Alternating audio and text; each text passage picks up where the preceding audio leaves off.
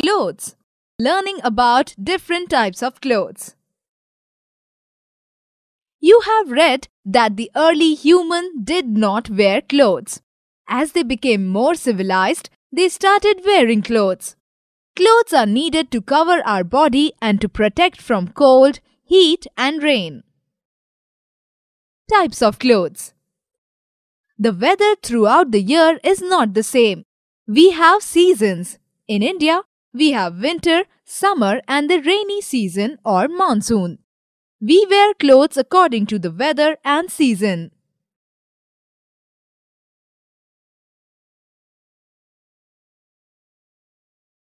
In summer, we wear clothes which keeps us cool. We wear cotton, linen or khadi clothes. Cotton comes from cotton plant. Cotton clothes are made by spinning and weaving cotton. Try. Click the clothes we wear in summer. In winter, we wear clothes that keep us warm and cozy. These clothes are made up of wool, which we can get from sheep, camel, lamb, and rabbits. People also wear silk. Silk comes from silkworm. This worm feeds on the leaves of mulberry tree. Try. Take the clothes we do not wear in winter.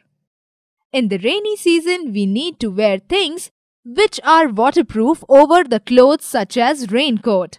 The raincoat is made up of plastic or rubber.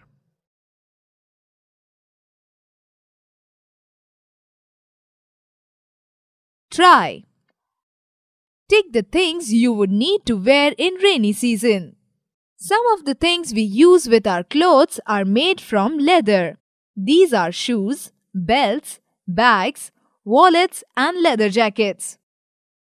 These are made from the skin of dead cows, goats, buffaloes and snakes.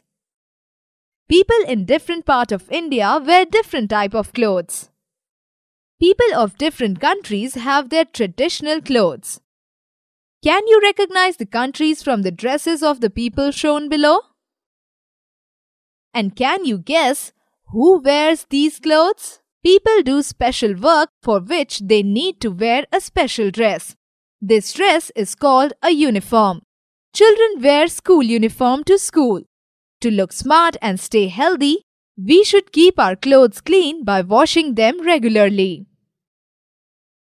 Summary Clothes are need to cover our body and to protect from cold, heat and rain. We wear clothes according to the weather and season. People in different parts of India wear different types of clothes. People need to wear special clothes called uniform according to their jobs. That is all in this lesson.